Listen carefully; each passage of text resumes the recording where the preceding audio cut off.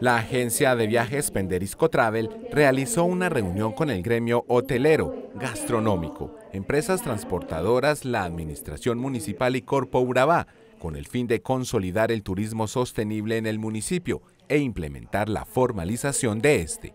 Urrao cuenta con grandes empresarios, vimos la oportunidad de brindarles a ellos una invitación a compartir el proyecto, buscando una asociatividad para que de esta manera ellos puedan desarrollar y fortalecer sus empresas.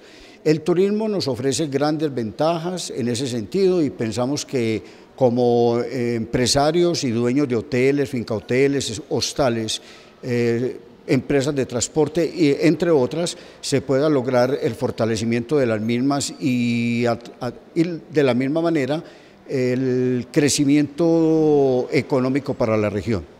La riqueza cultural, gastronómica y biodiversa que ofrece Urrao puede ser un excelente atractivo turístico y posibilidad económica. Por esta razón, la capacitación pretende que se aproveche al máximo estos potenciales, desarrollados por los habitantes, pero también presentes a través del paisaje biodiverso. Consolidar realmente esa red de empresarios dedicados al turismo. Y la invitación desde ya es que se promueva un turismo responsable, sostenible e incluyente. Y eso hace que pensemos el turismo de una manera más integral, no solamente pensar en el turismo como una actividad económica, sino realmente una actividad sostenible, donde se incluyan el componente ambiental y social también en esta actividad. Por ahora estamos haciendo una encuesta para caracterizar más o menos cómo estamos en capacidad hotelera y en qué servicios están ofreciendo los, los hoteles.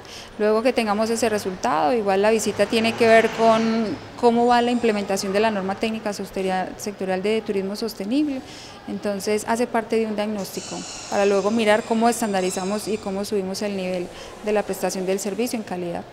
La invitación queda abierta para que las unidades productivas relacionadas que puedan incursionar en la propuesta legalicen los servicios y puedan ofrecer un turismo responsable, inclusivo, sostenible y protector del medio ambiente.